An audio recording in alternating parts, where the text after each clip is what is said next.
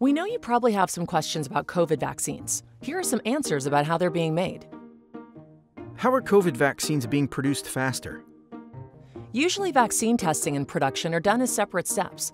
But because of the pandemic, vaccines are being developed on parallel tracks, meaning we're still doing both steps, just at the same time. How are the vaccines being tested? As we speak, several different COVID vaccines are in testing.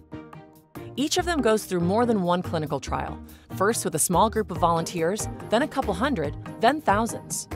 How will the vaccines get approved? Not all COVID vaccine versions that go through clinical trials will make it to the final stages of testing and approval. Produced vaccines that do not pass will be destroyed. For those that do make it past clinical trials, a team of medical experts will examine test results and possible side effects. If the vaccine works and it's safe, it gets approved. Then it gets to you.